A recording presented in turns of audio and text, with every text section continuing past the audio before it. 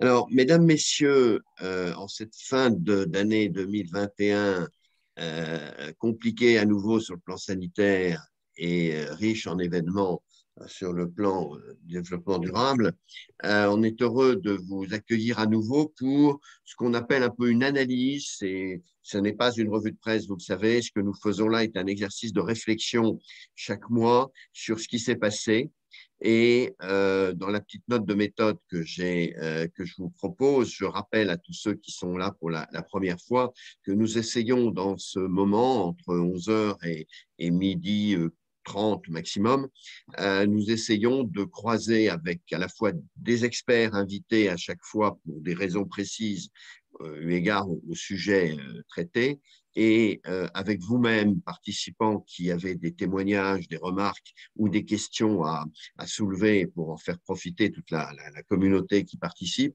euh, nous avons un souci, c'est de, de, faire un regard, de porter un regard sur les signaux forts, euh, sur les événements tels qu'ils se sont déroulés et euh, d'essayer de détecter les tendances impliquantes derrière soit pour la vie d'entreprise, pour l'économie, soit pour, euh, du point de vue de la société.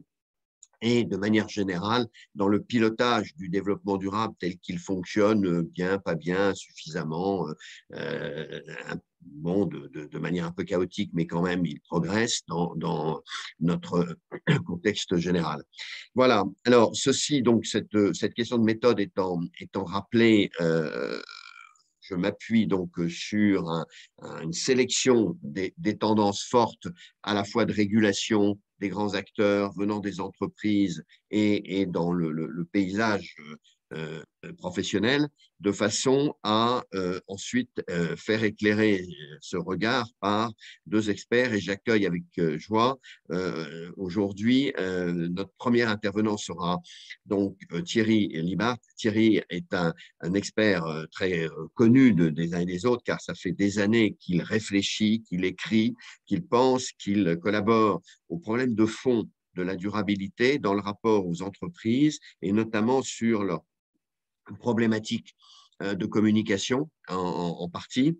Euh, il a publié un livre qui a été primé cette année donc euh, sur l'environnement et euh, c'est un, acteur indépendant, un, esprit fort sur ces questions-là que dont, je suis très heureux d'entendre de, les, réflexions et, et sera suivi dans ce commentaire par Stéphane Voisin qui n'est pas moins expert mais avec un focus sur la finance, un focus très très fort. Stéphane Stéphane est un de nos meilleurs experts de la finance durable euh, qui participe aux travaux internationaux européens de longue date, les PRI aujourd'hui du, du, du, groupe de travail sur la finance durable, qui euh, dans son euh, a été a joué un rôle très important dans la structuration de l'ISR et aujourd'hui dans son activité de recherche apporte un, regard euh, que j'aime toujours par sa distance, sa criticité, sa, pertinence euh, sur ce qu'il faut comprendre de, tout ce qui se passe. Donc, merci à vous deux de venir euh, compléter et enrichir notre réflexion de, cette fin d'année. Alors, je vais commencer euh, tout de suite dans le vif du sujet pour tenir l'horaire euh, et essayer de vous proposer euh, sur ce regard du mois passé, en, en, en décembre, un, un, petit peu quelques réflexions que, que, que je vous propose. Euh, c'est un peu banal de parler d'une année charnière, mais incontestablement, euh, de par euh, l'activité réglementaire, de par les événements qui se sont déroulés, on voit quand même qu'il y a eu quelques basculements assez, forts, et notamment dans le jeu géopolitique. Le, sujet du développement durable de la RSE a pris une tournure éminemment géopolitique du fait de la façon dont la, la, la, confrontation euh, États-Unis-Chine euh, se déroule et se déroule sur le terrain de la réglementation des, échanges, de la réglementation des entreprises notamment, de euh, la compétition sur, sur la façon dont les, les, les entreprises vont euh, commercer et, se comporter. On est donc là rentré un peu dans, dans, un, un, nouveau, un nouveau cycle qui fait que cette RSE qui depuis 20 ans se déroulait dans une vision très libérale et est très, je dirais, autorégulatrice aujourd'hui totalement, a totalement basculé du côté du, du smart mix, c'est-à-dire sous la pression des régulateurs, des gouvernements, qui n'ont pas qu'une vision de bonne régulation parfois, qui, cherchent aussi à imposer leurs règles de souveraineté, on en parlera, et sous la pression d'une société civile qui voudrait, par l'intermédiaire des, régulateurs, accélérer un peu la, transformation des, modèles. Donc c'est assez intéressant du reste de se pencher sur l'accord de, la coalition allemande qui prend maintenant, qui a pris euh, le pouvoir à Berlin, euh, parce que euh, son regard son, son, rapport à, la nouvelle donne énergétique, aux, aux, enjeux durables, euh, est, très, est très bien euh, éclairé. Il est, très, très nourri euh, de ce point de vue-là. C'est assez clair. Euh, les objectifs sont indiqués, une volonté d'avoir un mix énergétique à 70% de NR en 2035 et euh, la façon dont, les écologistes, d'une part, les libéraux et les sociodémocrates s'entendent. Euh, en Allemagne, une vision qui est, vraiment euh, un travail de, compromis, de consensus aujourd'hui très exemplaire, nous, donne, donne le là à l'Europe probablement. Et donc, je pense que Thierry qui voit ça aussi de sa fonction européenne, nous, éclairera sur l'effet, le sillage allemand, probablement, dont la présidence française de l'Union qui commence au 1er janvier ne pourra pas ne pas tenir un très grand compte, évidemment, même si le débat français euh, est aujourd'hui beaucoup plus dissensuel. On le voit euh, sur la question de l'énergie, on le voit sur d'autres domaines.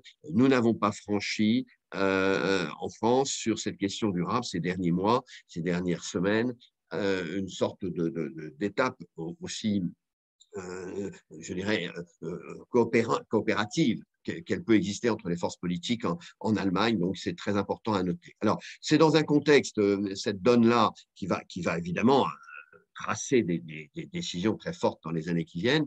Euh, euh, c'est dans un contexte où on a une reprise de l'inflation euh, qui, est, importante, mais notamment, on a un prix du carbone, vous l'avez vu, qui a dépassé les 80 euros. C'est une, il faut le souligner, c'est une montée là un peu peut-être spéculative, un peu un effet de bulle, mais qui est, très très très significative et qui a des conséquences. J'y reviendrai tout à l'heure à propos de la conférence au Collège de France sur ce sujet de Christian Euh, alors, euh, il y a par ailleurs donc une montée toujours des matières premières, on en a souvent parlé, parce que ça a des conséquences sur l'accès aux biens euh, nécessaires, ça a des conséquences sur les marchés agricoles et notamment, pour la première fois, le blé a dépassé les 300 euros la tonne.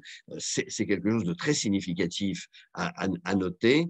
Euh, qui euh, a des bons aspects pour les producteurs et euh, pour d'autres populations qui sont en, situation de, fragilité alimentaire un peu risquée.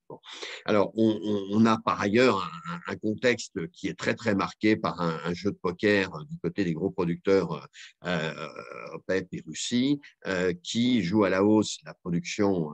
Aujourd'hui, les prix de la production gaz et, pétrole mais surtout sur le gaz et avec ses répercussions sur les budgets euh, chez nous. Donc, euh, c'est un, un sujet qui ne fait que, que commencer. Voilà. Donc, on, peut dire que dans ce, ce moment est très, est très devenu, est très politique cette, dans ce dernier mois.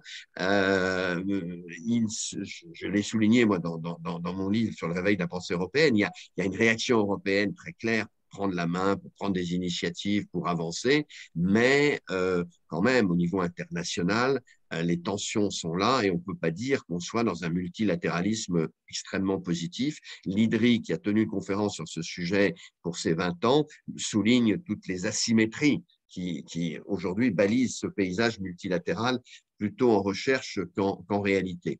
Alors, euh, acte 1, côté régulation, et j'évoquerai après acte 2, la, du côté des entreprises.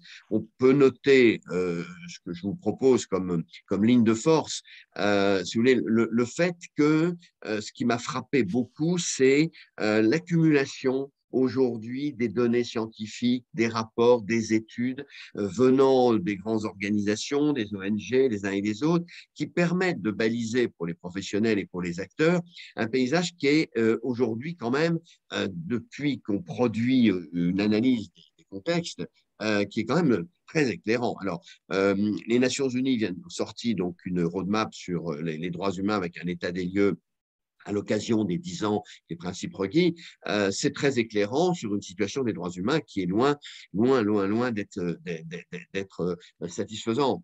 Euh, rapport aussi sur les inégalités avec l'étude annuelle du World Inequality Lab qui, qui montre de quelle manière, avec l'effet Covid, elles se sont quand même augmentées, les écarts se sont augmentés, donc la dimension sociale développement durable n'évolue pas dans le bon sens aujourd'hui. Euh, la FAO a lancé sur la situation alimentaire un, peu un, rapport qui alerte euh, parce que euh, on a une remontée des populations en malnutrition et en situation de famine pour des raisons de conflit, mais aussi pour des raisons tenantes au marché, au, mauvais fonctionnement des marchés. Alors, l'AIE, la, l'Agence de l'énergie, fait une étude qui, va être un des grands sujets de 2022 et après, c'est la question des matériaux critiques. Euh, en même temps, euh, ils viennent de, publier aussi un, rapport sur la remontée dans la production d'électricité du charbon euh, qui, cette année, euh, aura fait un bond du fait des, utilisations par la Chine et l'Inde. Et c'est une mauvaise nouvelle.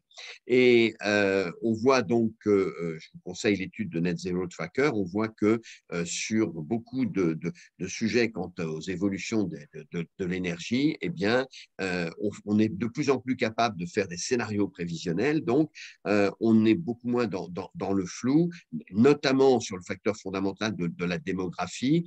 Euh, la tendance au vieillissement, à l'exception de l'Afrique, euh, mais euh, dans, les autres, en Asie et en, Europe, bien sûr, Amérique aussi, change la donne avec un, focus qui est souligné, c'est cette question qu'on appelle les NEEDs, c'est-à-dire ces populations qui ne sont pas dans l'éducation et, dans l'emploi et euh, qui sont les, jeunes générations, entre guillemets, un peu, perdues, que, le système euh, ne permet pas aujourd'hui d'intégrer. Euh, et, ça, c'est très, très lourd de risques chez nous, mais dans, les zones en développement particulièrement.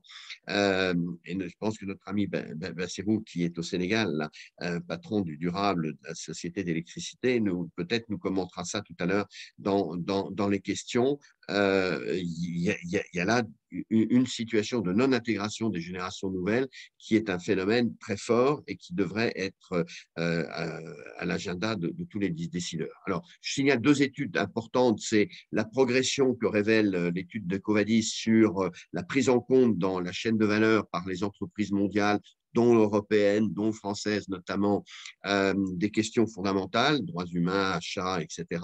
Et le fameux index, SDG Index, euh, qui de la SDSN qui montre que euh, euh, eh bien, on n'a pas en Europe, contrairement à ce qu'on pourrait penser, cette année, on n'a pas progressé dans le rapport aux EDD. On a même un peu régressé lié aux questions sanitaires, aux problèmes de santé en grande partie, d'emploi, et, donc, euh, là, euh, ben, la, roadmap n'est pas, est pas, est pas, tenue. Voilà. Alors, ça, c'est, disons, du point de vue, du point de vue général. Euh, du point de vue qui est sur les, initiatives des acteurs et euh, du point de vue des, entreprises plus, précisément, euh, il y a euh, un, un, effet, je dirais, de compétition qui est en train de s'accélérer, qui est assez, assez symptomatique. Bon. alors, on l'a vu à propos, et Stéphane Voisin nous éclairera là-dessus, sur les textes européens. Bon, il y a une tension sur le texte vigilance euh, je pense qu'en début d'année, le commissaire Breton s'exprimera là-dessus. Euh, on est autour de ce débat sur l'extraterritorialité et autres. C'est un, sujet sur lequel l'Europe a, du mal à, avancer. Euh, on a avancé pour autant sur la taxonomie, mais je laisse là, aussi, avant tout Stéphane dire ce qu'il faut penser de cette première publication de l'acte délégué, donc deux, deux sur six qui sont sortis, sans le, gaz et sans le nucléaire, comme on sait, euh, qui annonce euh, un, référentiel qui va permettre pour les, financiers d'abord euh, de bien indiquer s'ils investissent dans des activités vraiment durables. donc, le débat a été relancé par quelques acteurs. Zawati a, relancé l'intérêt que ça pouvait avoir, notamment pour les, dans les fonds propres dans, des, banques, sur la fameuse thèse du Green Supporting Factor. C'est un sujet à suivre. La fondation euh, IFRS, donc, euh, avance avec son partenaire SASB, Value Reporting et autres. Et je vous signale que euh, donc euh, l'organisation qui a été déléguée pour faire euh, la normalisation extra-financière donc internationale, c'est l'ISSB, vient d'avoir un nouveau président à sa tête qui s'appelle Emmanuel Faber. C'est une information importante, intéressante. Probablement, il faut y voir un pont qui est jeté par euh, les, États-Unis euh, vers l'Europe, euh, qui travaille de son côté à travers le, travail de, de, l'EFRAG qui avance bien. du côté des régulateurs, à nouveau, l'Organisation internationale IOSCO, qui régule les marchés financiers, a euh, annoncé euh, son projet avec déjà des, indications assez précises sur la volonté de réguler tous les producteurs de data, euh, tous les writers qui publient ici et là des choses sans avoir des open source ou des méthodologies qui sont très suivies. Et donc ça, c'était attendu. L'Europe le voulait. je pense que ça va se faire au, plan international de manière un peu plus rapide.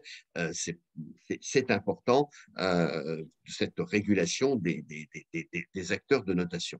Euh, et euh, un petit signal qui est très important dans ce contexte géopolitique, c'est le message de John Kerry qui a ouvert un peu la porte au, projet européen, donc CBAM, donc la, la, taxe, la taxe carbone aux frontières, nous voyons peut-être plus une, une façon de contraindre les Chinois que, que, les États-Unis. Euh, et vous avez vu qu'aux États-Unis, du reste, on ne se gêne pas pour donner des aides aux, acteurs automobiles, à l'automobile dans les, ceux qui produisent américains et, syndiqués euh, versus les autres. Donc, euh, on, a là euh, un, jeu protectionniste qui est rentré cette année très, très fortement et qui va probablement jouer, des, être un peu négatif sur le mouvement général. Alors, l'Europe a de son côté euh, annoncé euh, les apps, le fameux point unique de publication des données extra-financières. C'est intéressant. Euh, il sera la gestion sera confiée à l'ESMA. Donc, le l'autorité de marché européenne, parce que euh, je, je, je, pense, c'est une idée que nous nous soutenions depuis très longtemps, euh, Stéphane nous donnera son avis aussi tout à l'heure, je pense que ça va améliorer la transparence et les capacités de comparaison, et derrière le travail de data qui va pouvoir être fait par les régulateurs pour pouvoir euh, tendre vers une standardisation et surtout une, application mieux faite. Voilà. À noter au passage que euh, l'Europe, dont on dit qu'elle est incapable de s'entendre sur les questions fiscales, a quand même ouvert un taux de TVA sur les activités qui favorisent euh, la transition énergétique, donc en baissant, en permettant la, baisse de la fiscalité euh, de la TVA sur ce sujet, c'est à noter. Et j'ajoute, pour ceux qui ne l'ont pas vu, dans un marché important, mobilité Île-de-France, donc tous les transports d'Île-de-France, eh bien, on il a été considéré que le facteur social et le facteur durable euh, devaient être pris en compte dans, les achats et il l'a été euh, effectivement. Vous savez que ce sont des, sujets qui sont encore euh, pas, tout à fait consensuels. Bon. Et je termine sur ce point des, acteurs économiques par l'extrême intérêt de la conférence inaugurale de Christian Gollier, directeur du, Toulouse School of Economics, travaille avec Jean Tirole, qui a démontré de façon très convaincante pourquoi il fallait mettre tout de suite la taxe carbone à 150 euros et comment euh, il fallait qu'elle tende vers les 500 euh, assez dans, dans les 10-15 ans pour pouvoir euh, jouer sur les taux d'actualisation de façon à ce que vraiment on intègre bien les, nouvelles énergies renouvelables versus les énergies carbonées. Donc là, vous voyez, ça, éclaire un peu le, le jeu. Alors maintenant, je voudrais terminer sur la question un peu euh, des, initiatives plus, euh, techniques euh, qui ont marqué ce, dernier mois. On peut citer rapidement, je m'attarderai à quelques points. Euh, c'est intéressant de voir que sur la fameuse REP, la responsabilité élargie des producteurs, il y a eu une jurisprudence qui fait que lorsqu'on ne retrouve pas le producteur, eh c'est le distributeur. Ça a été fait dans un, dans un arrêt qui vise Amazon directement. Donc, euh, les distributeurs doivent aussi euh, participer au cycle de, fin de vie des produits. Qu'on a évidemment là, vous le savez, c'est pas nouveau, mais ça a été consacré très récemment, notamment en Angleterre, le fait que les plateformes numériques doivent doivent tendre vers un, statut de salarié, euh, entre guillemets, parce qu'il y a des formes diverses, mais elles ne peuvent plus euh, jouer aujourd'hui d'une absence de protection sociale des indépendants qu'elles utilisent. Euh, il y a une remontée du sujet corruption à l'initiative des États-Unis euh, qui s'est faite notamment dans la fameuse conférence de Biden sur les démocraties, euh, en faisant de la lutte contre la corruption un élément important. il y aura une conférence des Nations Unies bientôt, comme il y en aura une sur la question des, océans en début d'année prochaine.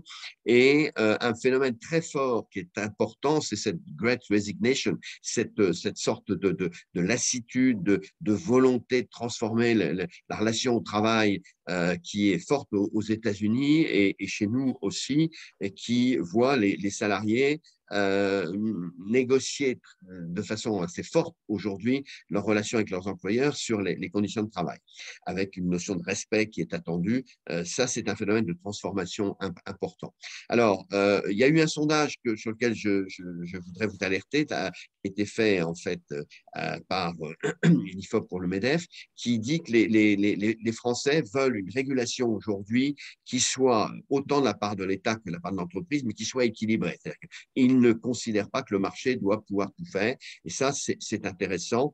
Euh, ça vient renforcer euh, aussi les, propositions intéressantes que la plateforme RSE a, a présentées sur euh, l'évolution du sujet à la veille de la présidentielle. Voilà.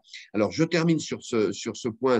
La RSE a tendance à devenir de plus en plus sous cette pression un sujet de compliance et de reporting plus qu'un sujet de démarche volontaire. C'est une évolution dont on pourra reparler qui est extrêmement importante parce que c'est une page qui, se tourne et euh, on voit bien à travers euh, pas mal d'initiatives.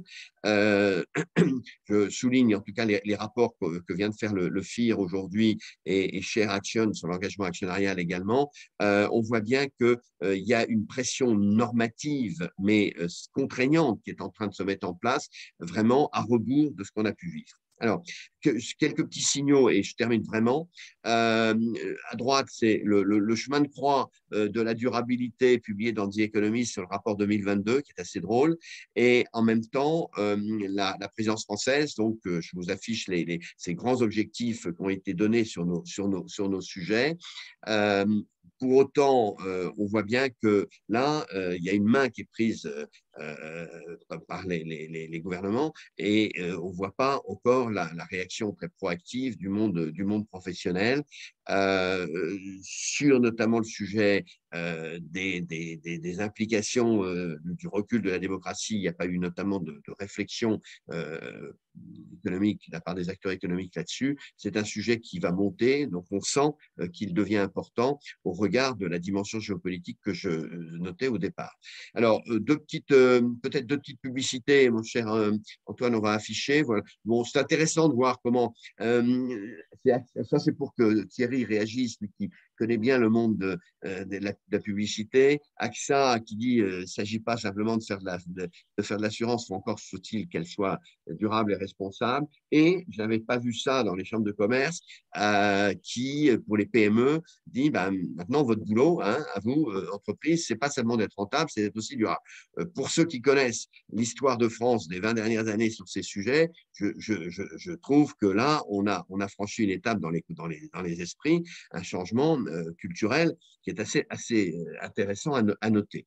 Euh, je fais toujours une petite allusion sur les bouquins qui sortent, donc je vous en signale de, enfin, je signale l'œuvre de Pierre Rabhi qui nous a quittés malheureusement, et notamment, on lui doit quand même cette, mise en valeur culturelle, politique de la sobriété, et puis l'interview dans le monde de Bruno Latour, passionnant, à ne pas rater, sur cette question de la transformation du, combat social à travers l'écologie et cette inéluctabilité, comme il le dit, du croisement entre euh, aujourd'hui un certain progrès et l'habitabilité de la planète. Ce sont deux, éclairages importants.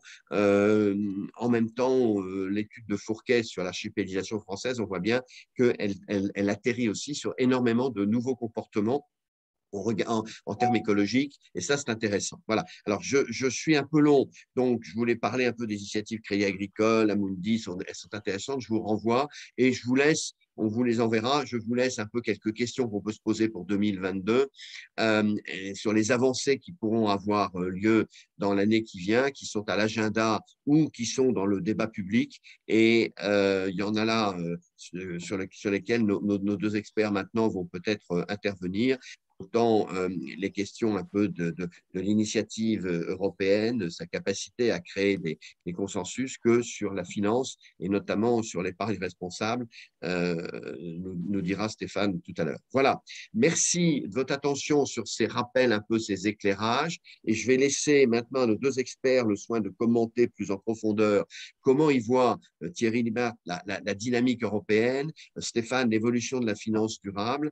Et euh, sur 15-20 minutes euh, chacun successivement. Euh, je vous remercie de nous apporter votre, votre vision de ce qui se passe en ce moment et, de ce que j'ai pu rappeler des, dernières initiatives d'actualité. donc, Thierry, je vous passe la parole. Euh, euh, je rappelle que vous avez êtes aujourd'hui membre du Conseil économique social européen et que vous avez publié de nombreux livres et, notamment avec un éclairage sur euh, la, la, façon, la, la, communication des entreprises en matière de durabilité et leurs responsabilités sur ce sujet. merci. donc Thierry, je vous passe la parole. Je ne sais pas si vous voulez utiliser des slides. Je laisse Antoine piloter ça. Ok, parfait. Vous m'entendez bien? Le son est bon?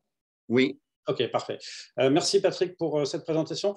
Euh, peut-être je vais en 15 minutes faire ça en 2 deux, trois temps. Peut-être d'abord réagir par rapport à, ta présentation.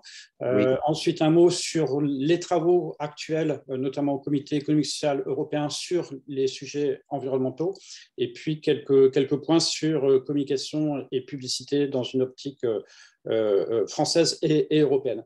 Euh, d'abord sur, ta présentation, alors moi dans les points, tu, as commencé par l'Allemagne, dans les points importants aussi, c'est le, fait d'avoir un, ministère climat et économie.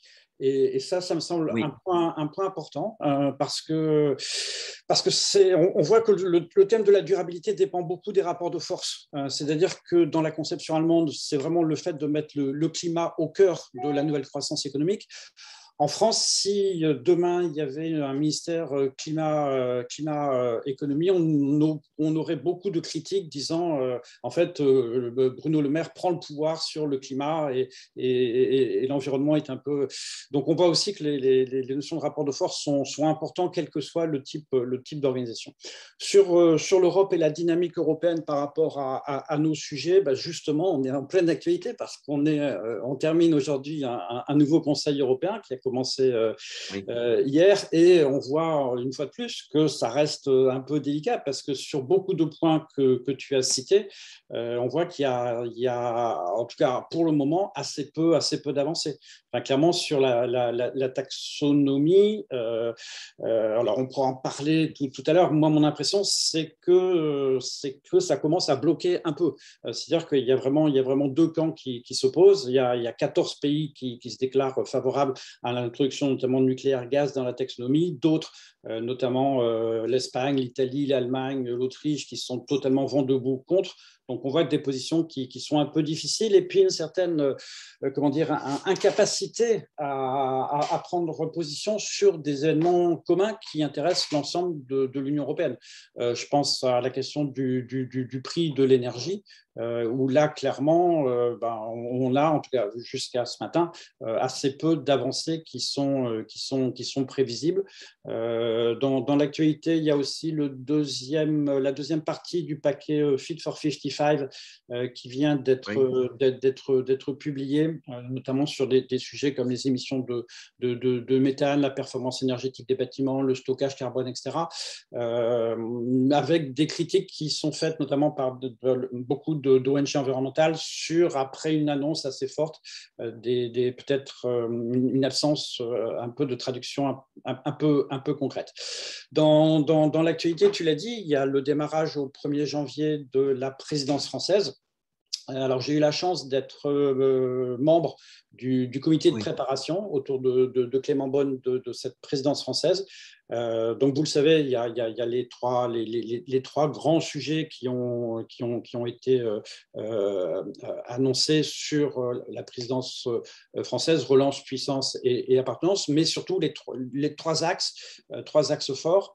et sur les axes forts, il y a le sujet climat et, en fait, dans le sujet climat, moi, mon sentiment, c'est que parmi l'ensemble il y a un immense paquet qui a été présenté par, par le président de la République. Il y a un élément qui semble peut-être plus important que tous les autres, que la présidence française va essayer de faire aboutir pendant ce, premier semestre, c'est celui du, MACF, le mécanisme d'ajustement carbone aux, frontières. Les autres sujets peuvent être mis un peu dans, le pipe, notamment celui d'un salaire minimum, euh, mais celui que la France souhaite le plus faire avancer, ça me semble vraiment être celui du, mécanisme euh, ajustement carbone aux, frontières. Le, troisième étant euh, les aspects du, numérique, numérique, impact du numérique, et puis sur les, travailleurs des, des, plateformes. Dans, dans, les sujets, alors tu as parlé de, de, la publicité et de la communication, qui est effectivement un sujet qui, qui, m'est cher. Euh, alors, deux, deux, éléments, un élément euh, Europe, un élément euh, français. élément Europe, c'est qu'il y a eu, il y a, il y a, trois semaines maintenant, un, un, événement fort. alors, bien sûr, les médias français en ont pas parlé, qui est pour la première fois, l'Europe a traité de la nécessaire transformation du modèle publicitaire pour le rendre davantage compatible avec la transition écologique. Et ça, c'est important pour, en fait, pour deux raisons. Euh, la première, c'est que c'est vraiment un texte fort, c'est-à-dire qu'il ne se noie pas dans des paquets. Euh, on avait déjà parlé de publicité, de marketing responsable dans le dernier paquet euh, économie circulaire de, l'an dernier. Mais là, on a un, texte qui, n'est consacré qu'à ce sujet-là et comment, au niveau européen, la, la, communication, le marketing, la publicité doit, doit, doit évoluer. Et avec euh, un, point important qui est à souligner, c'est que ce, texte euh, a été euh, au Comité économique social européen voté à l'unanimité, à, l'unanimité, c'est-à-dire que toutes les entreprises, grandes entreprises, PME, ensemble des organisations syndicales, ensemble des associations de consommateurs, ensemble des ONG environnementales, ont voté pour ce texte-là. Donc, ça veut dire qu'il y a des chances assez fortes pour que ça puisse, ça, puisse euh, effectivement euh, déboucher. Euh, d'un point de vue français, il y a eu hier une réunion avec Barbara Pompili pour la traduction du volet publicité de la loi climat et résilience. Et, mmh. ce qu'on voit, c'est qu'il y a deux choses très concrètes qui vont aboutir assez, assez rapidement. Il y, a, il y a, alors, je commence peut-être par, les choses qui sont les moins importantes, mais il y a l'expérimentation du WePub euh, qui, va, qui, va, qui, va démarrer. Donc, plusieurs villes avaient soumissionné. Euh, c'est maintenant là bien dans, dans, dans, les tuyaux. Donc, WePub, je rappelle rapidement, c'est le fait que dans votre boîte aux lettres, euh, ben, vous pouvez, on, renverse l'idée qui était de dire je ne veux pas de publicité avec l'idée du principe, c'est pas de publicité dans les boîtes aux lettres, sauf si vous demandez à avoir de la publicité dans, dans votre boîte aux lettres. Euh, démarrage au, 1er mars de l'étiquette énergie euh, pour la vente de, véhicules. Euh, donc calqué un peu sous les étiquettes énergie que vous voyez dans, l'électroménager. donc ce sera sur la vente de, voitures. Et puis le, troisième élément annoncé hier, c'est le, démarrage des, contrats climat. contrats climat, donc c'est les, trajectoires carbone euh, de, lié au sujet publicitaire euh, sous l'égide du, CSA. Donc un point qui est, qui important. Par rapport aux deux publicités que tu as présentées, il faut, aussi signaler qu'il se passe quelque chose en ce moment en France et en, Europe, qui est qu'après presque une dizaine d'années où euh, les allégations environnementales trompeuses, le greenwashing, la lutte contre le blanchiment avaient plus ou moins bien marché, hein. tu sais que depuis le Grenelle de l'environnement, euh, on, était à peu près à 5% de ce qu'on considérait comme étant euh, des, erreurs manifestes ou des réserves par, rapport aux recommandations de développement durable, enfin clairement le greenwashing. Euh, l'an dernier, il y a eu pour la première fois un bond, c'est-à-dire un doublement. On est passé de, 5 à 10%, ça s'était jamais vu sur les dix dernières années. Donc il y a un retour du greenwashing qui est en train de, s'opérer. Ah et, qu'on retrouve, euh, alors là, beaucoup, beaucoup plus fortement sur l'espace numérique. Euh, donc, euh, étude qui a été montrée que, par exemple, sur YouTube, tu as une vidéo qui traite d'environnement, de publicité environnementale, marketing environnemental sur YouTube, qui n'est pas en ligne avec les recommandations de l'autorité de régulation professionnelle de publicité. Et, et, au niveau européen, sur les sites études de Commission européenne de cette année, sur les sites de e-commerce, on est à 42% d'allégations environnementales trompeuses. Donc on voit qu'effectivement, ça il y, a, il y, a, encore un trou noir sur, sur le sujet.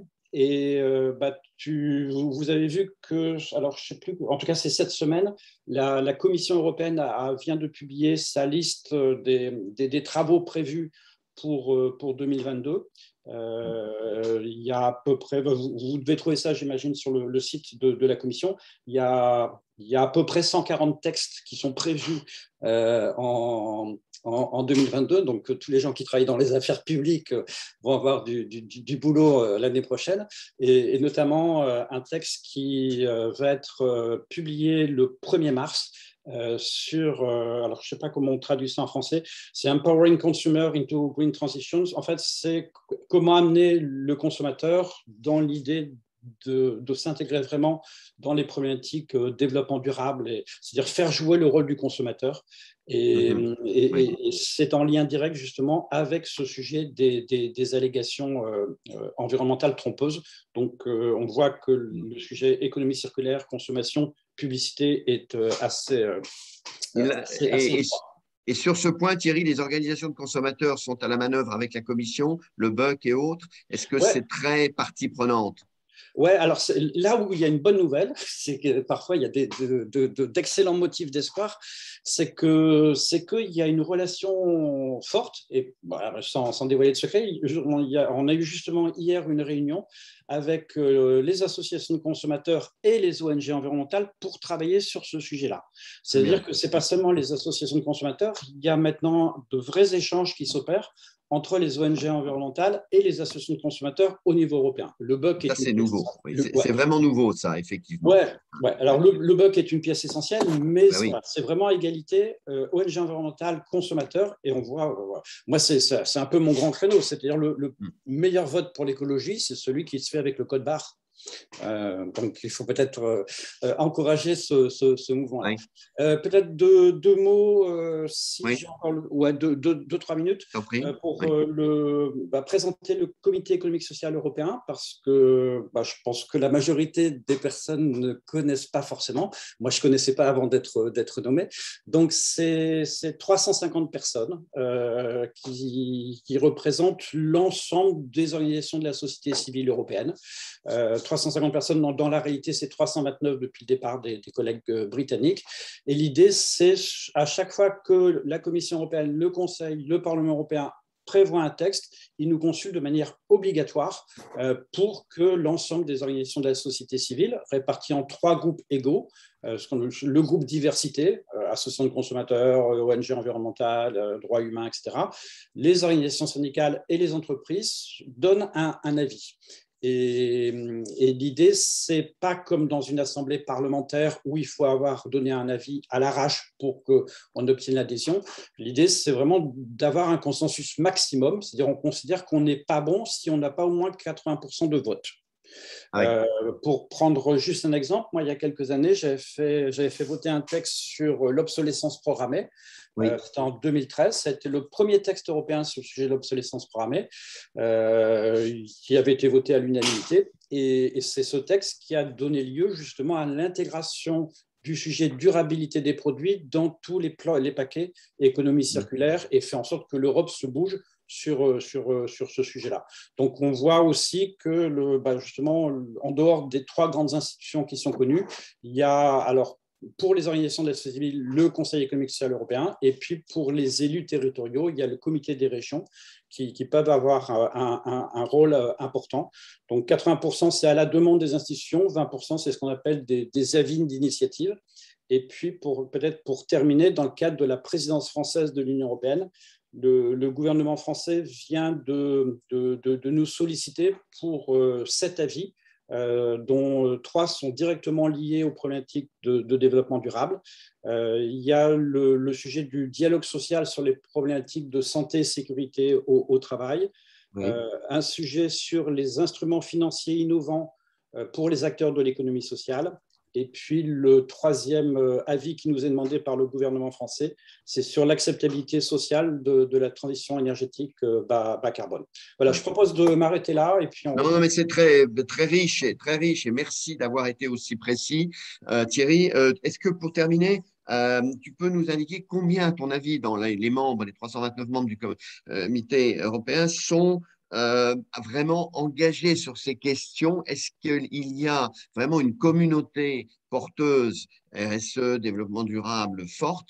Quelle est sa représentation dans l'ensemble parmi tous les acteurs? Est-ce que c'est une, euh, une instance partie prenante qui pèse ou pas sur ce terrain? Alors, il y, a, deux choses dans ta question. Euh, est-ce que ça pèse et, un peu la part de personnes engagées? Alors, la part de personnes engagées, en fait, ça, dépend quand même des, sujets. Il y a des sujets, euh, je ne me voile pas la face, la face sur lequel on n'est pas très bon. Par exemple, sur le sujet climat, on n'est pas bon. Voilà. Qui est pourtant le sujet essentiel.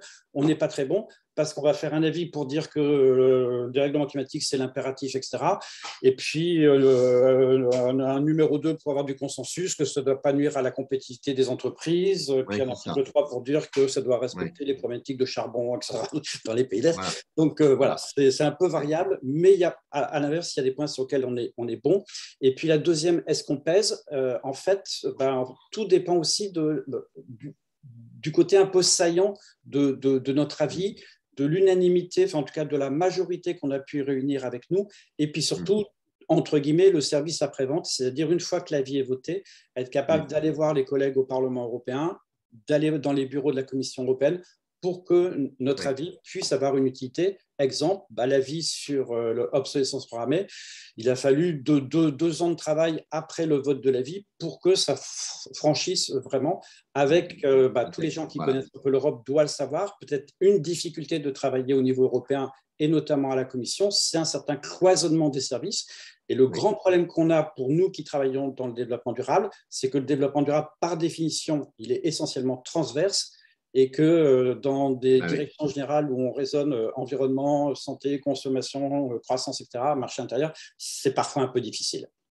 Merci beaucoup Thierry, on y reviendra dans les questions que poseront les uns et les autres et j'imagine qu'on retrouve peu ou prou ce contexte sur la partie finance durable. Stéphane Voisin, euh, merci infiniment d'être là, mon cher Stéphane, pour euh, nous éclairer euh, sur cette dynamique qui est un incroyable effet de levier depuis plus de longs mois maintenant et de longues années sur la transformation des, des, des, systèmes. Peux-tu nous faire le point, ta réaction à l'actualité et comment tu vois ces tendances de fond? Stéphane, on te passe la parole. Je te remercie, Patrick. D'abord, merci et, bravo pour, euh, pour, ta revue de presse critique hein, des grands enjeux. rien que ça, ça valait le déplacement, ou plutôt la, connexion, euh, parce que c'est vrai que c'est n'est pas facile d'avoir un, tour de piste 360 euh, tout en étant assez critique de, de, cette, de tout ce qui se passe, et, Dieu sait s'il se passe de choses. Moi, ce que, ce que je retiens de, de, ton introduction, et ce qui me semble le plus important, c'est effectivement la, fin d'un monde et la, pression normative et régulatoire très forte, en fait, c'est-à-dire la, fin des approches volontaires et, de l'autorégulation. Et on voit exactement ça en finance. Et, je pense que c'est le mouvement de fond le, plus, important, et tu as, tout à fait raison de, le souligner. Euh, c'est euh, sur, sur, la finance, évidemment, ça se traduit euh, dans le plan d'action européen pour la finance durable qui est extrêmement euh, détaillé, précis euh, et qui rebondit ou qui reflète pas mal d'enjeux qui ont été traités euh, soit par toi, soit par Thierry, notamment sur, sur les aspects stratégiques, mais aussi les aspects de communication. On parlait du, greenwashing et on retrouve, on retrouve tout ça. Je pense que ce qui est important peut-être de, rappeler aussi, c'est, et tu l'as dit dans ta introduction, c'est euh, le, rôle clé de, des standards euh, là-dedans, puisque aussi c'est la, fin d'un monde en ce qui concerne euh, les standards volontaires, et en tout cas en Europe, la volonté assez forte et assez marquée de déboucher sur un, langage européen, une grammaire européenne du, développement durable, qui, comme tu le sais, est assis sur ce principe qui nous est cher de double matérialité. Matérialité, euh, alors tout, le monde n'est peut-être pas familier, mais c'est assez simple, hein, de, bien prendre en compte en fait ce que sont les deux piliers, à mon avis, de la finance durable. D'une part, euh, la prise en compte des risques associés aux enjeux environnementaux et sociaux dans euh, la, gestion, ou en tout cas l'analyse de la performance financière et par ailleurs euh, de bien comprendre comment cette performance financière peut impacter en retour euh, les euh, grands facteurs environnementaux et sociaux. En gros, les externalités, comme disent les économistes, positives et, négatives. Et ça, c'est évidemment une différence par rapport au modèle anglo-saxon, bien que finalement, SASB dont tu parlais, évidemment, porte plutôt la matérialité financière et GRI, comment portait peut-être plus la matérialité euh, de contribution euh, aux, ODD, euh, puisque finalement, ils avaient été faits pour ça à l'époque. Hein. C'était finalement une, initiative de traduction à l'époque des objectifs du millénaire en indicateurs opérationnels pour les, entreprises, avec un rôle extrêmement grand des parties prenantes qui étaient fortement associées, alors qu'évidemment, dans SASB, les, principales parties prenantes sont plutôt les investisseurs et, les financiers. Donc euh, là, il y a un peu une volonté de faire la synthèse de, l'Europe avec, euh, avec les FRAG, cette initiative qui va nous amener à un langage commun, mais qui est aussi la fin potentiellement d'une d'une démarche très volontaire de reporting des entreprises qui va sans doute être intégrée dans, dans la directive, enfin l'évolution de la directive NFRD, CSRD, et qui, au fil du temps, finalement, devient plus prescriptive. Au début, on a vu les droits humains, les égalités de genre, après se rajouter euh, le climat à travers la TCFD, va se rajouter la taxonomie, on va revenir là-dessus, et puis on va, en fait, de, on va s'approcher effectivement de ce que tu disais, de, normes extra-comptables qui vont être extrêmement prescriptives. Et on, voilà. Alors, ah, pour le, pour le meilleur et, et, pour le pire, mais je pense aussi pour le meilleur. Il y a beaucoup d'entreprises qui, euh, qui soit un petit peu vent debout contre ça, parce que c'est vrai qu'elle trouvait assez pratique de mettre en avant ce qu'elle voulait mettre en avant, mais c'est vrai que du côté de la finance et du côté de l'investissement, le sujet clé, c'est quand même la comparabilité, l'exhaustivité, la vérification. Et euh, il faut quand même s'imaginer, même si je comprends très bien euh, la, position des entreprises, la, la, difficulté quand on est euh, du côté d'une agence de notation ou d'un investisseur, de faire la part des choses entre euh, le reporting de, milliers d'entreprises et d'essayer de définir qui qui est potentiellement la meilleure, qui présente des risques, etc. Avec, avec le peu d'outils dont on dispose, évidemment, puisqu'on n'a pas encore de normes très solides, on n'a pas de vérification et on a un manque de ressources notoire. Euh, je vous donne un, je vous lâche un, ratio euh, assez, assez effrayant. Il y a à peu près un analyste extra-financier pour 100 analystes financiers pour un champ d'investigation qui est autrement plus vaste et autrement plus complexe. Euh, donc effectivement, ça, c'est bien plutôt, à mon avis, euh, comme étant quelque chose de positif, mais c'est un changement profond. Et tu avais tout à fait de raison de le signaler, aussi dans une lame de fond euh, qui est celle effectivement de la montée en puissance de tous ces enjeux-là, euh, moi, j'ai trouvé qu'il y avait quelque chose qui, euh, qui le marque euh, assez, assez bien. c'est l'indice CAC 40, vous savez, qui a, qui a Euronext a lancé. Alors, je, je participe, je suis au conseil scientifique d'Euronext pour les indices justement ESG, low carbone, oui. et qui a lancé cette année un indice ESG. Et oui. déjà, moins d'un an après son, son lancement, il y a déjà plus d'actifs sous gestion sur l'indice CAC 40 ESG que sur l'indice CAC 40 euh, classique, au bout d'un an oui. seulement. Ah oui. et, et, ça, je pense que c'est, euh, ça illustre en fait cette vague de fonds. Et finalement, l'indice de référent de la place, c'est devenu l'indice CAC 40 ESG. Comment se fait-il? Parce que la capitalisation, c'est la même. Enfin, euh... ah ben, c'est tout simplement que beaucoup de, d'investisseurs qui étaient placés sur le CAC 40 se sont euh, placés sur le CAC 40 ESG. C'est ça. On, on, changeait, on changeait de benchmark. Hein. C'est ça. Pas de, c'est pas de, effectivement, tu as raison de le signaler, c'est pas de la collecte nette. Non. Ouais. Euh, c'est, euh, c'est une transformation de la même façon que euh, l'importance de la gestion d'actifs ESG, ISR, etc. aujourd'hui n'est pas le fait d'un mouvement additionnel, hmm. c'est la transformation de fonds existants en fonds ESG. Quand la Banque postale ou un Mondi nous annonce qu'ils sont 100% ISR, évidemment, ils ont converti. Ils ont converti, évidemment. mais, ça répond en fait, euh, ça n'en, ça, ça, ça, ça, ça, ça n'enlève rien au mouvement de fond qui est finalement l'attente euh, profonde des, investisseurs sur ces sujets-là et qu'en fait, les financiers qui sont quand même malins devancent un petit peu l'attente de, de, leurs épargnants et savent très bien qu'il y a une attente forte là-dessus. Je pense d'ailleurs. Je, voudrais t'arrêter, euh, Stéphane, là-dessus, c'est très important. Est-ce que tu as l'impression qu'on a, on a vécu avec le, un peu la dictature du DJSI Est-ce que cet indice euh, de, du CAC 40 ESG va, peut, prendre le relais un peu euh, d'un DJSI ou d'autres indices durables qui existent sur d'autres bourses Oui, absolument. Je pense que c'est un mouvement de ça aussi, c'est un fort mouvement. Tu as raison de constater parce que c'est ces indices FTSE for Good, DJSI, voilà. qui est un petit peu la vitrine du développement durable. Oui. franchement, on suivait uniquement les, entreprises qui avaient beau jeu, de, enfin, qui étaient toujours très contentes de mettre dans la, première page de leur rapport développement durable qu'elles appartenaient à tel ou tel indice. Alors que franchement, de l'autre côté, les investisseurs s'en fichaient totalement. Je ne connais pas un seul investisseur qui a jamais regardé la position d'une entreprise dans, ces indices-là, euh, parce que ça obéissait à des, méthodologies très, très, précises, on ne va pas s'étendre là-dessus. Et ça, c'est en train de se renverser parce que euh, j'ai parlé du CAC 40, mais pratiquement chaque indice euh, européen aujourd'hui dispose de son, euh, de son, de son avatar ESG, si j'ose dire.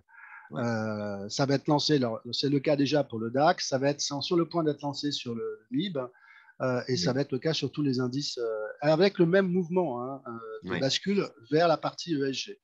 Il y a une, question, il y a une question de quelqu'un sur est-ce qu'il est qu'il il évite le greenwashing, l'indice euh, de Ronext là-dessus? Est-ce que, puisqu'on est là-dessus et que c'est vraiment une information de fin d'année très importante que tu donnes, euh, est-ce que les garanties euh, de, de, data sont, sont, bonnes voilà, c'est un indice, en général, les indices boursiers, il faut le comprendre, c'est toujours un, partenariat, une collaboration entre un, fournisseur d'indices, en l'occurrence ouais. Euronext, et une agence de notation qui va en fait euh, tilter euh, mmh, mmh. le, facteur, euh, le premier facteur d'inclusion d'une entreprise dans un indice qui est sa capitalisation boursière mmh. avec sa note ESG. Et on est obligé là de prendre la note globale, donc, qui, est une note moyenne et la moyenne, comme, tu, comme vous le savez, en, responsabilité sociale, la, moyenne des performances de responsabilité sur tous les indicateurs est toujours une très mauvaise chose.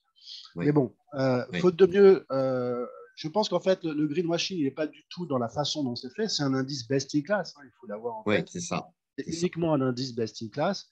Euh, le greenwashing est peut-être dans la façon dont est vendu cet indice-là. Et il faut éviter, comme je l'ai lu parfois, dire, il y a eu un article intéressant dans les échos là-dessus, de dire que c'est un, un, ESG et, et un indice d'impact. Ce n'est pas un indice d'impact du tout. Oui, si on dit ça, on est dans le greenwashing. Si on dit tout simplement c'est un indice qui euh, met en avant les entreprises les plus engagées dans des politiques de développement durable, on, est bon. Voilà. c'est ça, ça que c'est. évidemment, euh, ça crée. Déjà, il y avait des tensions. Euh, il y avait des tensions pour des entreprises, des principales entreprises, pour figurer dans l'indice oui. CAC 40. Euh, aujourd'hui, évidemment, il y a des tensions encore plus vives pour figurer dans, dans l'indice euh, CAC 40 ESG. Et vous imaginez que les entreprises qui étaient dans l'indice CAC 40 et qui ne sont pas dans l'indice CAC 40 ESG ne sont pas contentes. Euh, et donc, évidemment, il y a des, échanges assez, assez vifs. Et, ça, c'est intéressant. Euronext oui, à quel point ils sont obligés de, de, gérer de, ça, répondre et de gérer ça. Et c'est tout à fait nouveau pour eux, c'est tout à fait intéressant. Et d'expliquer finalement les, les, détails de la méthodologie de, de, Vigéo. Et qui s'explique aussi, et on, ça, ça rebondit un petit peu sur tout ce que tu as dit sur le, devoir de vigilance et, le momentum euh, qu'il y a sur ce devoir de vigilance, qui s'explique aussi par justement la gestion des controverses. Parce qu'il ne faut pas l'oublier, dans pratiquement aujourd'hui toutes les méthodologies euh, de notation extra-financière, il y a une couche de best in class, euh, mais qui est assez statique, puisque comme vous le savez, aujourd'hui, les analystes ne peuvent, de Vigio et d'autres, hein, ne peuvent regarder que les rapports 2019, commencent à regarder les rapports 2020 qui commencent à peine à être publiés. Donc, il y a toujours un élément de retard. On a souvent deux ans de retard par rapport à la réalité des choses. Et donc, il y a une autre couche qui est en fait la couche des controverses qui sont liées à ces entreprises. Et toutes les agences de notation et même d'autres services ont développé des, outils de controverse qui permettent d'avoir une lecture un petit peu plus au fil de l'eau, un peu plus euh, en temps réel euh, de, cette performance de responsabilité sociale qui peut affecter la note. C'est-à-dire que s'il y a une mm. alerte sévère, elle affecte la note et l'entreprise doit sortir. Et le CAC 40 ESG fonctionne comme ça, comme la plupart des systèmes de notation maintenant. Exact. Donc c'est euh, et c'est en fait un sujet de vigilance en fait. Hein. Absolument. rien d'autre qu'un sujet de vigilance on pourra revenir là-dessus, mais la taxonomie européenne, il faut le rappeler, fonctionne sur la même, sur la même, sur la même idée. Hein. Pour être euh, éligible à la taxonomie, il faut être sur euh, les codes NAS qui ont été, euh, les codes d'activité qui ont été définis, oui. qui ont été définis sur la base de, critères techniques. Pour être aligné sur la taxonomie, il faut répondre à d'autres conditions qui sont ne pas, ne pas nuire ne pas nuire aux, enfin, aux cinq autres objectifs environnementaux. Hein. Je les rappelle, c'est les deux premiers qui ont été passés dans l'acte délégué, comme tu l'as dit, euh, qui sont euh, qui ont, en force de loi aujourd'hui, c'est le, climat, l'adaptation et l'atténuation du changement climatique. Les quatre autres étant euh, les pollutions de l'air, des eaux, etc., l'eau en tant que telle, la biodiversité, l'économie circulaire. Mmh. il faut donc, si on, est, si on contribue substantiellement à la lutte contre le changement climatique et qu'on est on porte préjudice à quatre autres des, ou cinq autres des autres, on n'est pas éligible. mais aussi, mais aussi, il ne faut pas, euh, il ne faut pas être soumis, faut que l'activité ne soit pas soumise à une controverse au sens euh, toujours des, mêmes, du même référentiel normatif que sont l'OIT, euh, Global Compact et, les, principes directeurs de l'OCDE. L'OCDE. Et on est encore dans le devoir de vigilance. On est vraiment au cœur du devoir de vigilance. Donc en fait, le devoir de vigilance est ancré dans la taxonomie.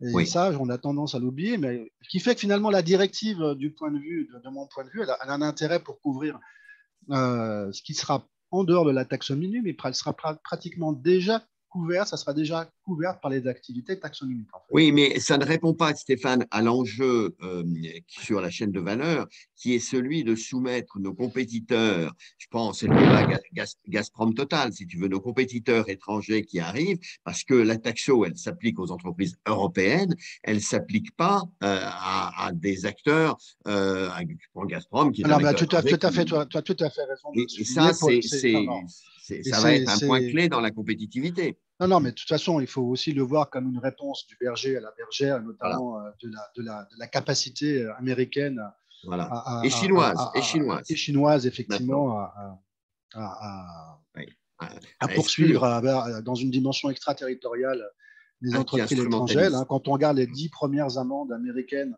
euh, sur des sujets de corruption, par exemple, on trouve neuf, euh, entreprises européennes. Hein. donc, eh oui. donc c'est un, un, sujet de concurrence internationale, tu as tout à fait raison de le rappeler. Mais bon, c'est important de, de, montrer que cette, cette, euh, ce devoir de vigilance est quand même ancré dans la, dans la réglementation européenne.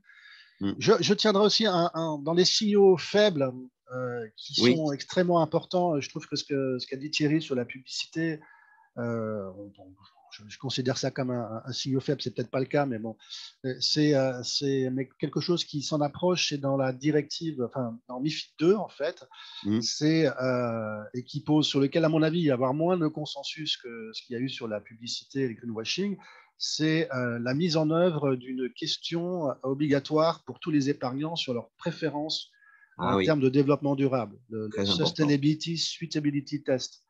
Euh, qui est jusqu'à maintenant, il y avait, c'était obligatoire de demander en fait, d'essayer de, de, de, comprendre quel était l'appétit de risque euh, des, des, euh, des, épargnants. C'était obligatoire et chaque institution financière était obligée de le faire. On, va rajouter une question sur ce préférence sociétale, on va dire. Oui. Voilà. Et ça, alors évidemment, tout est dans l'art de poser la question. Oui. Mais évidemment, les institutions financières sont, on peut le mm. dire, euh, un petit peu entre le martume et l'enclos, entre l'enclume et le marteau, pardon. Et euh, parce que d'un côté, elles vantent les mérites de, la, finance durable et de l'autre côté, elles redoutent le fait qu'elles se trouvent dans une position où elles n'ont pas dans leur catalogue de produits quelque chose qui puisse répondre exactement aux souhaits, aux desiderata de leur épargnant mmh. en termes, en termes de, de, de, mmh. préférence de développement durable. Et mmh. évidemment, elles ne pourront pas proposer quelque chose qui ne corresponde pas. Ce qu'elles peuvent aujourd'hui, finalement, est-ce qu'il y a quand même pas mal de greenwashing en, finance, et c'est un sujet qui commence à être largement pris en compte par l'AMF, par l'ESMA, etc. Qui, il y a des, enquêtes mystères qui sont en train d'être faites, etc. C'est le sujet, le sujet euh, monte en, monte en puissance. Là, là aussi, ça va être un changement profond euh, dans les allégations, les revendications de, d'impact, mmh, etc. Mmh. On va devoir faire de plus en plus attention. Et surtout, je pense que ça va être un, accélérateur profond euh, de la, de la, de la, de la, on va dire du dynamique de, de, de, de l'épargne durable, parce que finalement, on se rend compte quand on dans, dans, dans, les, les, dans les sondages qu'il y a une vraie volonté euh, de concilier euh, performance économique et et performance durable, et qu'une fois que chaque, les épargnants auront émis un avis favorable sur, ce, sur, ce, sur cette préférence, ben, il faudra que les, que les institutions financières, les, les, fonds d'épargne, les, sociétés de gestion en tiennent compte hein, et, proposent des produits adéquats. Et ça, c'est un formidable moteur pour la finance durable pour terminer, Stéphane, l'année 2022 donc, va, devrait consacrer tous ces mouvements qui sont à l'œuvre depuis maintenant de trois ans euh, très significatifs. Tu as le sentiment quand même que là, la dynamique est, forte et positive. On devrait déboucher et la, France y contribuera. Oui, oui, alors il y a, des, il y a, quelques menaces. Euh, Thierry en a, a mentionné une sur, la, effectivement, sur la taxonomie, le rôle du nucléaire, et euh, il a, bien mis en, en, exergue l'état des forces, hein, qui est exactement la, France entraîne, enfin, essaye de faire passer le, nucléaire. Enfin, j'ai rien personnellement contre, contre le nucléaire en tant qu'énergie de transition provisoire, mais c'est vrai qu'au sein de la taxonomie, ça pose des problèmes de structure qui sont aptes à, décrédibiliser euh, l'approche taxonomique telle qu'elle est euh, construite aujourd'hui, notamment sur, ce, sur ces fameux DNSH.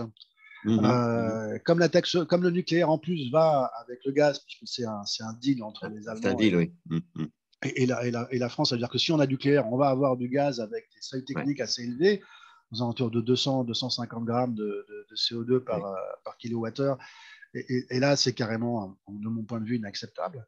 Euh, donc, euh, ça, c'est. On va voir comment cette lutte aujourd'hui sur les actes de la publication des actes délégués, on, on, on essaie bien tirer. Ça peut revenir en force. comme tu l'as dit, la, France va avoir la présidence de l'UE. Est-ce qu'elle va essayer de faire passer ça en force? Il y, a, comme certains États, comme l'a bien dit Thierry, qui sont vent debout là-dessus. Ça va être, à mon avis, difficile. Il y a un petit risque là-dessus sur l'ensemble de crédibilité du, système. Je pense que ce qui est le plus important, enfin, au-delà de ça, ce qui est important, c'est qu'il faut bien voir que, et dans un, les mouvements de fond, au-delà de ce, que, ce qui se passe en Allemagne, c'est quand même, on a une mandature de l'Union européenne à travers le. Green Deal qui est structurellement euh, basé sur des objectifs environnementaux. C'est-à-dire que l'ensemble du budget européen, à la fois les 1100 milliards euh, du budget européen, plus quand même 40%, 37% exactement du plan de relance Next Generation, sont structurés et articulés sur ces six objectifs environnementaux, plus les objectifs de transition juste. Ça, c'est vraiment un, changement radical par rapport en gros aux politiques précédentes, hein, qui étaient euh, plutôt on va financer telle industrie, on va financer tel sujet, etc. Là, on dit à n'importe quelle industrie, vous, d'abord, vous devez d'abord nous prouver que vous êtes euh, capable de répondre à ces objectifs environnementaux sans, sans compromettre les autres. Hein, euh, et ensuite, vous pourrez être éligible à nos financements. Mmh mmh mmh évidemment, si la France veut faire passer le nucléaire, c'est pour pouvoir bénéficier évidemment de ce flux, euh, de, ce flux de financement euh, assez, enfin, je veux dire, qui est assez, assez, important et qui évidemment peut aussi, euh, comme tu le disais, créer mmh. potentiellement mmh. un risque de bulle verte ou accélérer en, finalement la, valorisation d'actifs de façon peut-être un petit peu démesurée. C'est quelque chose sur lequel il faut aussi être vigilant pour les années qui viennent. Aujourd'hui, sans doute, le périmètre de la taxonomie est-il un petit peu trop P3 euh, les, statistiques qu'on a aujourd'hui, c'est que sur, euh, si, on regarde, on a sur des grands, des grands portefeuilles d'actions, etc., on a guère plus de 10 à 15% des actifs qui sont, euh, qui sont alignés. Je ne parle pas euh, éligibles, hein, mais alignés. Euh, et parfois même, si on est sur de l'économie vraiment très mainstream, ça peut descendre à quelques pourcents, 2-3% d'actifs qui sont alignés. Donc il est urgent, et si on y travaille à la, au sein de la taxonomie, d'élargir le périmètre de la taxonomie. On travaille à travers deux groupes de travail sur d'abord une taxonomie qu'on appelait, alors qui, qui s'appelait d'abord brune, qui ensuite s'est appelée harmful parce que le, terme harmful évidemment fait peur parce que personne n'a envie d'être dans la taxonomie harmful. Euh, donc on travaille sur une taxonomie qu'on appelle maintenant euh, jaune, orange, rouge. Donc qui est en fait une taxonomie de transition et qui va nous permettre en fait sans doute d'élargir le périmètre de la taxonomie. Et on travaille aussi sur une taxonomie sociale qui va être intéressante parce que là où finalement le DNS, enfin le, les, la, partie devoir de vigilance à travers les minimum social safeguards est quand même quelque chose qui ressort plutôt dans, du domaine de l'exclusion. Là, on mm. est plutôt dans le domaine de l'inclusion, c'est-à-dire euh, souvent ça peut être les mêmes indicateurs, mais on les interprète de façon inclusive et on essaye de, vraiment d'identifier quelles sont les activités qui peuvent avoir une contribution positive sur, euh, sur ces sujets-là. Donc ça, c'est je pense, un, un, développement important. Le, rapport va être publié sur la taxonomie sociale, devrait être euh, publié tout au début de l'année. Et, euh, et j'espère qu'on va avoir un consensus là parce que je pense que c'est une avancée importante. Merci fondamentalement, mon cher Stéphane, d'avoir éclairé tout ça. Euh, ça complétait parfaitement l'exposé de Thierry et euh, on voit qu'on est non pas au milieu du guet parce que je pense qu'on a franchi les étapes assez fondamentales en termes de concept et d'orientation stratégique, tu les as rappelés. Euh, maintenant, le diable est dans le détail, tout est dans la mise en œuvre et ce qu'on peut espérer, mais on va maintenant aborder les, questions, c'est que les acteurs s'entendent mieux aujourd'hui sur le, du bon usage de tous ces outils qui sont pas parfaits, qui sont des partis pris méthodologiques à un moment donné, comme la taxonomie, mais qui ont énormément de mérite et c'est dans leur bonne application qu'on peut faire avancer les choses. Donc là, il y a un appel aux acteurs économiques pour qu'ils jouent le jeu de la bonne application, euh, ce qui aidera à ce que ces principes euh, soient, euh, soient, soient, des bons, même si ça évoluera dans le temps. Sur, juste deux secondes, Patrick, juste sur, sur, ces outils, l'importance des outils, il y a quelque chose, à mon avis, qui va être critique aussi dans les années qui viennent c'est l'utilisation des scénarios. Hein, oui, ils deviennent vraiment euh, au cœur de beaucoup de, sujets, même si on parle de, évidemment de taxonomie de transition, ça veut dire que derrière, il y a un scénario, une projection euh, d'un développement économique basé sur un mix technologique, euh, etc. Et évidemment, les scénarios sont très prescriptifs, très biaisés, ils peuvent être même très clivants. Et en mm. fonction mm. d'un scénario ou une autre, on peut, on peut être très clivant. Et parfois, c'est là où c'est important d'amener un petit peu des, questions de transition juste, hein. euh, mm. ramener un petit peu les considérations sociales, parce que souvent, les scénarios ou les outils qui les utilisent sont totalement, je pense notamment SBTI, PACTA, que, tout le marché utilise, euh, sont totalement aveugles sur les enjeux sociaux. Ça. Ils ne les ont pas pris. D'abord, c'était il y a cinq ans et ils ne les ont pas pris, effectivement. Euh, tu as raison. Et la, question sociale, elle va nous revenir très, très fortement, car il n'y a pas de transition sans des mécanismes de, péréquation et de, c'est même euh, la condition de fonctionnement des, taxations carbone et autres. Donc ça, ça va être à l'agenda 22 euh, très fort. Merci de ces éclairages à tous les deux. Arnaud, je te laisse prendre le relais comme convenu sur le questionnement. On, il est 12h12 jusqu'à 20, 25. Euh, pour prendre les, les, questions euh, que certains peuvent poser. Arnaud, je te passe la main. Merci Patrick et merci euh, déjà à nos deux intervenants et puis aux quelques personnes qui ont déjà posé des questions. N'hésitez pas à compléter et à profiter de la présence de nos deux experts et de leur hauteur de vue sur les différents sujets qu'ils ont évoqués.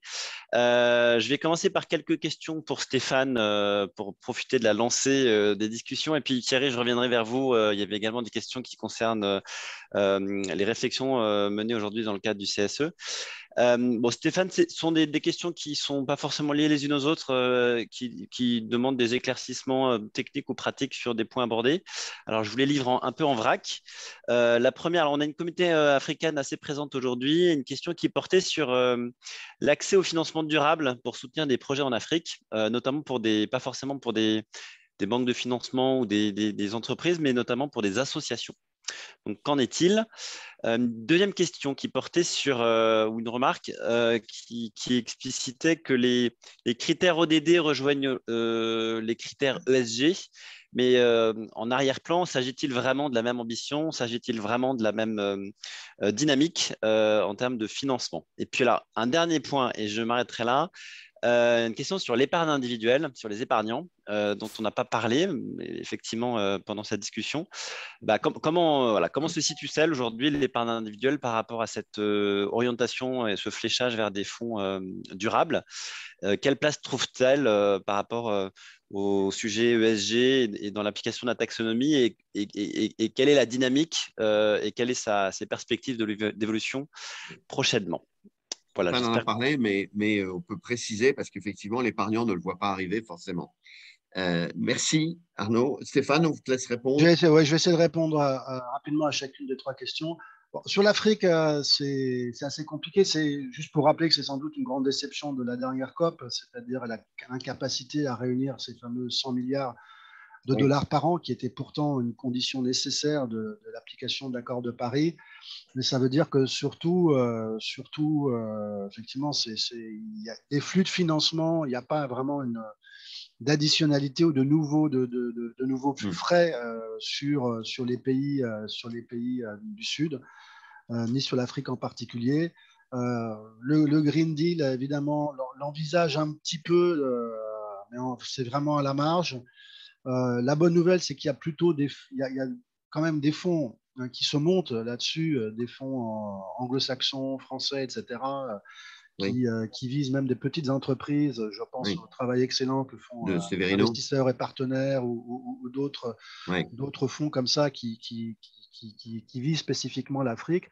Mais effectivement, on est en, on est en manque d'un d'une dynamique euh, spécifique euh, qui, à mon avis, sera, devrait être impulsée par, euh, par les, mm. les, banques multilatérales. Bon, et aussi, il y a des gens comme Proparco qui font de l'excellent travail sur là-dessus. Mais bon, ça passe évidemment par les États. Hein. Proparco ne finance pas directement. Enfin, Proparco, si l'AFD finance, justement, Proparco peut, peut, faire le, le, complément de ce que fait l'AFD qui passe par les États.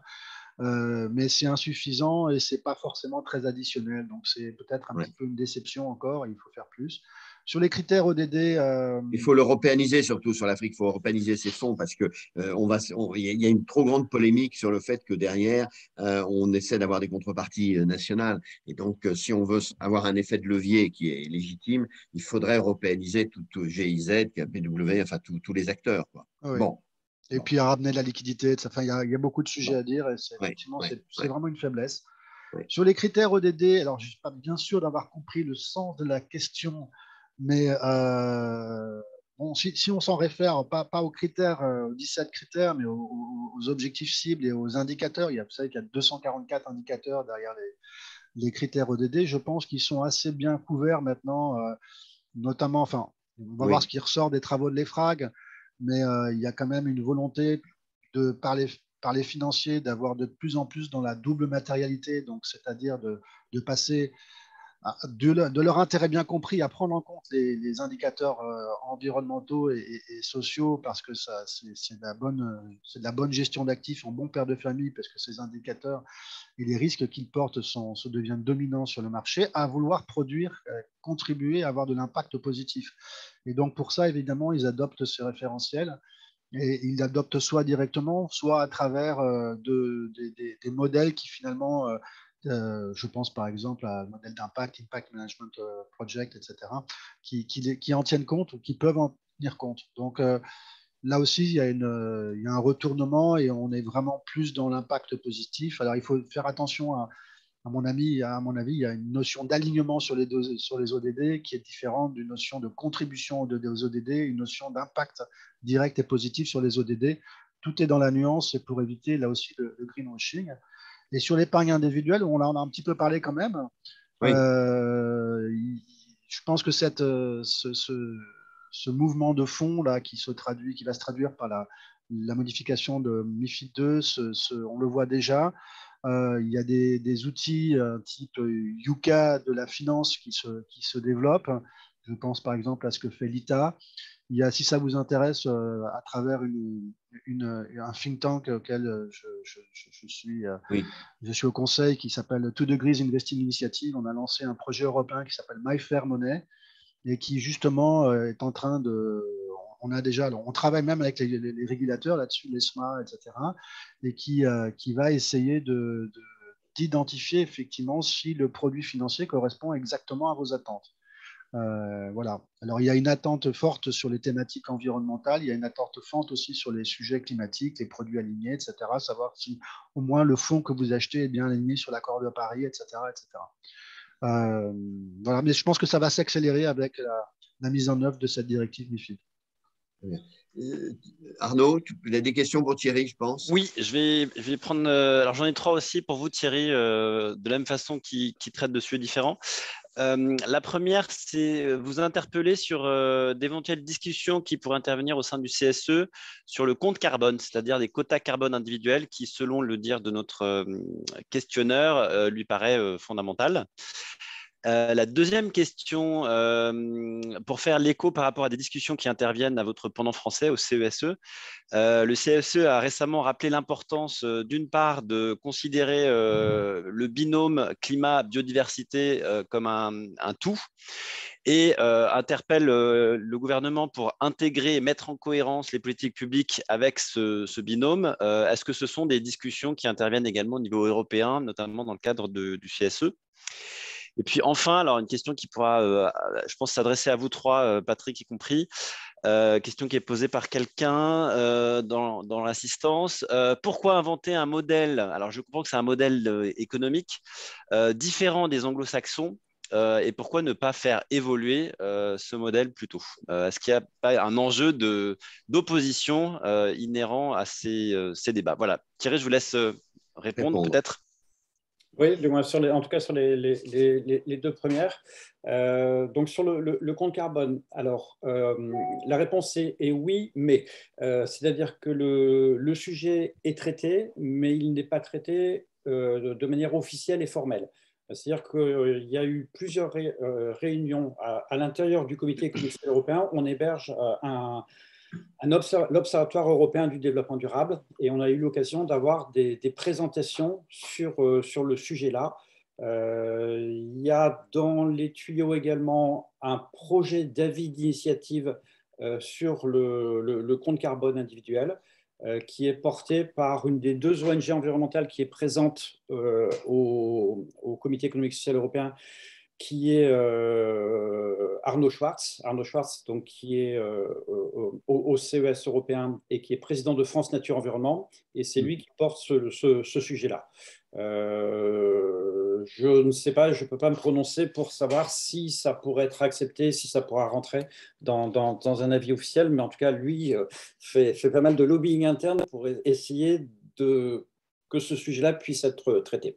Euh, deuxième, euh, deuxième question sur euh, le lien climat-biodiversité et la relation avec le, le CESE français. Alors, trois, trois remarques. premièrement, il y a depuis 3-4 ans une, une, belle relation qui s'est établie entre le, le, CES européen et le CESE français. et on essaye de mutualiser parce qu'on s'aperçoit que assez souvent, on, traite du, même type de sujet. Euh, et, l'idée, c'est pour nous essayer de donner à chaque fois un, ancrage un peu européen aux travaux du, du, CESE français. Euh, alors, on ne peut pas avoir d'avis commun parce que les procédures sont différentes, mais on essaye de nous euh, mettre sur des avis semblables et les traiter de manière un peu mutualisée. Pour donner un exemple très, très concret, on a travaillé il n'y a pas très longtemps sur le thème de la justice climatique. Donc les, collègues du CESE français avec Jean Jouzel avaient travaillé sur ce sujet-là et nous on l'a repris euh, pour le, traiter euh, dans une, optique, euh, dans une optique européenne. Alors sur le lien climat-biodiversité, oui, on est évidemment d'accord, on ne peut être que d'accord avec, avec, avec ça. deux remarques toutefois. La première, c'est que on, est, on a pris le concept euh, One Health pour euh, essayer d'avoir vraiment cette approche un peu globale, euh, c'est-à-dire santé des écosystèmes, santé humaine, santé animale, santé économique, même combat. donc il y, a, vraiment cet angle qui a, été pris pour ce sujet-là. Et puis, c'est un peu sous-jacent par rapport à, la question. Ce qu'on essaye vraiment de faire encore plus, c'est d'essayer de... Alors là, pardon, c'est peut-être mon, optique communicationnelle qui, s'exprime, mais moi, de mes combats, c'est d'essayer de sortir le sujet du climat de la sphère environnementale parce que, parce que la problématique du dérèglement climatique, elle est trop prise, à mon sens, dans un sens euh, écologique, voire même de militance environnementale, alors que pour moi, le sujet du, du, climat, c'est peut-être d'abord un problème économique parce que ça nous coûtait de plus en plus cher, c'est un problème social parce que les personnes qui souffrent le plus sont les personnes les plus défavorisées, comme pour la, la, crise, la crise Covid. C'est un problème sociétal avec les migrations climatiques. Demain, ça va être un problème géopolitique, voire militaire. Donc euh, voilà, essayons aussi de sortir le climat de cette rubrique euh, trop strictement environnementale. Merci de ces réponses. Euh, comme on arrive vers, vers la fin, la dernière remarque, Arnaud, sur laquelle que tu as rapporté sur la relation entre les modèles anglo-saxons et les modèles euh, français, européens, devrais-je dire. Euh, Stéphane Voisin y a répondu tout à l'heure à propos de la matérialité. Je crois que tout est dit. Nos approches ne sont pas les mêmes. On n'a pas un rapport au monde et un rapport euh, au partage des, charges et de la valeur qui est le même. ça reste quand même une culture, la culture anglo-saxonne reste une culture de performance assez auto alors que nous avons en, Europe cette obsession culturelle euh, sur euh, le, partage avec le, reste de la planète. Euh, je crois qu'en disant les choses aussi sur ce terrain philosophique, on marque deux différences d'approche économique. donc on peut on s'entendre sur beaucoup de choses, mais il faut quand même discuter des finalités. Et, et là, ça ne nous empêche pas d'avoir encore une fois une communauté d'intérêt et une communauté de vues. Euh, il n'empêche que, euh, je l'aborde moi beaucoup dans, dans, le bouquin sur la, pensée européenne, euh, nous avons trop collé au schéma anglo-saxon dans le passé, ce qui fait que, et quand je dis coller, nous avons copié-collé, notamment dans le management. Et une des, un des défis, si on veut arriver à transformer le management dans le sens de la durabilité, c'est de s'émanciper un peu des, des, des, des schémas de croissance pour la croissance quantitative à l'américaine, car ça reste quand même le logiciel fondamental pour aller vers une contribution sociétale. Je rappelle que le travail de l'EFRAG euh, a été par Patrick de Cambourg introduit sous l'angle ayons une vision de performance globale et ça n'est pas euh, aujourd'hui euh, ce qui est dit en face pour faire c'est de la performance au moindre risque intégrant des, nouveaux risques. Donc on voit bien que on n'a pas la même vision du monde. Je ne sais pas si Stéphane ou Thierry en conclusion veulent terminer là-dessus, mais il y a en 2022 un rendez-vous pour l'Europe euh, et la France à la manœuvre, et dans sa relation avec l'Allemagne, autour de cette affirmation euh, d'une relation nouvelle qui passe par ces transformations de, de modèles et de changements de règles. Euh, voilà, maintenant, nous saurons-nous la, définir, l'assumer, la, faire avancer dans un rapport qui peut être à la fois partenarial et quand même de confrontation avec, avec le, monde nord-américain là-dessus. Je vous laisse terminer, euh, Thierry, sur un mot peut-être là-dessus et, Stéphane, parce que c'est vrai que c'est une conclusion un peu, un peu large euh, qui oriente bien les, les évolutions futures. Voulez-vous euh, Oui, Stéphane? Compléter? Stéphane, tu veux compléter là-dessus? Allô? Et ou Thierry? Alors, ben, moi, je vais peut-être aussi reprendre les, questions euh, qui, m'ont été posées euh, dans, dans, dans, le chat. Une, quand on parlait de la présidence française, euh, oui, clairement, il y a, enfin, quand, on travaille, quand il y a des, des présidences on essaye toujours, enfin quand je dis on, euh, euh, le gouvernement, de travailler avec, euh, avec l'entourage, c'est-à-dire bah, avec les, notamment avec les pays qui, qui, suivent. Donc, le, à mon sens, c'est plutôt essentiellement avec la, République tchèque qui va suivre au, deuxième semestre. La, Suède interviendra après. J'ai eu aussi plusieurs, plusieurs discussions dans le chat sur les, les, les dénominations, parce que c'est vrai qu'il y, y a, une foultitude de nouvelles dénominations sur, sur tous ces sujets-là. Euh, moi, j'ai quand même un peu une crainte si on en reste à la, à la notion de, développement durable, parce qu'elle est quand même un peu historiquement datée. Et là, ce dont on parle, c'est quand même d'une prodigieuse accélération, voire même de, de, rupture.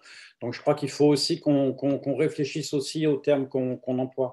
Et, pour terminer justement sur un peu ma spécialité qui est le domaine de la communication, moi, je pense qu'il faut qu'on arrête de, parler de, change, de surtout de réchauffement climatique. Il n'y a pas de réchauffement climatique. Ce qui s'est passé la semaine dernière aux, États-Unis le, montre bien. Et ce qui s'est passé cet été en, Europe avec les, inondations en Belgique, en Allemagne, les, les, feux de forêt en Grèce, etc., c'est vraiment un dérèglement climatique. Donc il y a aussi ce travail à faire. Oui, le mot de dérèglement, les, concepts, les concepts sont importants. Et du reste, dans dérèglement, il y a la notion d'envalement qui est quand même la grande épée de Damoclès euh, qui est au-dessus de nous. Hein. Euh, utilisons les bons termes. Oui, tu, tu, oui excusez-moi, mon micro était coupé. T'en prie, euh, Stéphane, je te laisse totalement terminer. aligné sur, en tout cas sur Thierry, sur, sur cette opposition que tu signalais, et qui effectivement il faut régler et essayer d'affirmer notre, notre culture. Mais je pense que l'Europe a en tout cas un, un outil euh, régulatoire qui, qui, qui, parce que les, États-Unis ont quand même, enfin, les, mondes anglo-saxons ont du mal à imposer une régulation sur ces sujets. le simple fait que l'Europe euh, veuille le traduire en réglementation, à mon avis, va nous donner quelques longueurs d'avance, euh, notamment sur la partie reporting standard, etc. Et ça, ça va être quelque chose de positif. Tout à fait d'accord sur ce qu'a dit Thierry à la fois sur la nécessité de, désenclaver euh, l'environnement, de le mettre mainstream. Effectivement, ce que ce qu'a fait l'Allemagne en, intégrant le climat dans euh, le ministère de l'économie est exactement ce mm. qu'il faut faire, euh, et non pas simplement dans le ministère de, l'environnement ou de, l'énergie. Et, sur ton dernier point, j'ai oublié lequel, mais j'étais aussi d'accord, je voulais rebondir, mais on, a, on, a, on, a, on, a, on a eu tellement de sujets aujourd'hui que je, L'esprit d'escalier a ses limites. Non, mais euh, vous savez, le, notre, notre tâche devient à tous, euh, tous qui êtes là, nombreux encore à cette heure-ci, on va arrêter, euh, et, tellement aujourd'hui submergé par une quantité d'enjeux qu'il faut ordonner et, et, qui vont nous amener à être beaucoup plus stratégique, euh, mais on peut se faire noyer facilement. Euh, ta remarque est, nous, est importante, euh, Stéphane. Merci à vous deux d'avoir été si éclairants, si précis et, de nous avoir fait partager les, dernières évolutions en cours. Merci à vous tous, participants fidèles pour une bonne partie et nouveaux que nous découvrons et que nous invitons à nous retrouver l'année prochaine, puisque nous ferons en 2022 ces rendez-vous mensuels d'analyse et de mise en perspective euh, de l'actualité euh, durable, euh, à nouveau invité par toute l'équipe des, des, ceci vient compléter et mettre à jour un peu nos, programmes de formation. Merci Arnaud, au nom des d'avoir piloté ça, ceci à l'équipe et Antoine. Et nous nous retrouvons tous en vous souhaitant de bonnes fêtes, Prenez soin de vous. Stéphane, particulièrement, soigne-toi. Je sais que tu n'es pas en forme. Euh, faites attention à vous. Et euh, ça ne s'est pas vu, Stéphane. et euh, bravo. En, tout cas, bravo à, toute l'équipe et à, vous tous qui êtes fidèles. Et j'espère comme ça qu'on va améliorer en même temps en 2022 le, la partie dialogue. On y consacrera peut-être plus de temps dans le futur. voilà. Bonne fin d'année et merci à vous tous. Et continuons de croire dans la durabilité nécessaire de ce monde. À bientôt. Merci.